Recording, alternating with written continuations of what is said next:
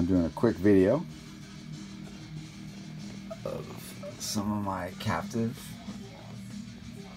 Boelen's pythons. These are like legit, like captive born animals. So they're, they're actually essentially captive hatched. These are just amazing. And uh,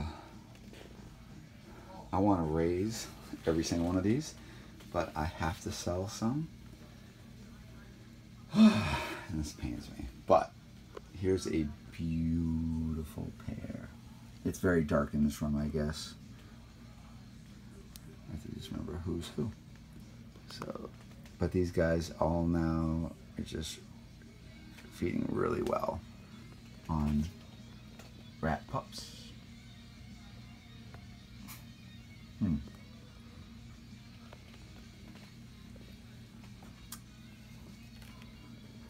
So if you get the light on them, you can see what they actually look like. So if you're looking straight down, it's kind of weird. So these guys turn black and white. That's amazing how these morph. Hi. They feel like luxury, as Jason says. Look at this. So, so nice. Um, what's really interesting about them, they're just a silly, curious animal. And uh, they just they just don't act like other snakes. So that really has me enthralled, and I've you know just taken some time to really notice them. These guys are uh, largely arboreal, so that means that they're going to spend a fair bit of time just up crawling around in any kind of branches although you can keep them in you know bins like this. Actually I find that they actually do really well with the way that I'm keeping them at the moment.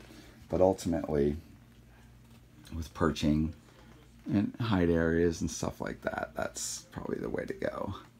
Yes this video is terrible. I really need some light. They're, they're a little bit hard to contain if you haven't noticed because they are just curious.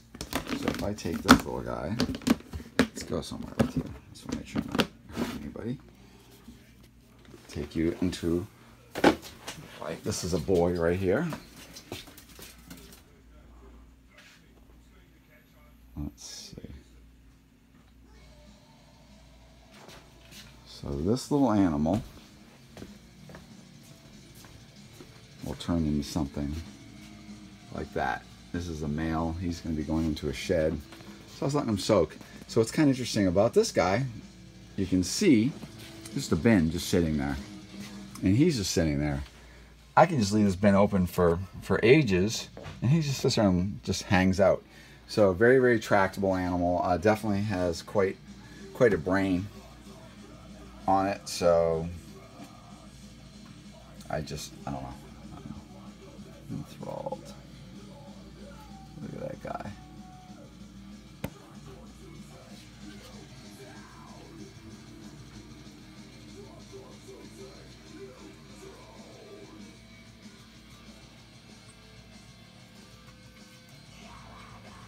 That little snake, with this, all this red and banding, turns into this guy that's shedding.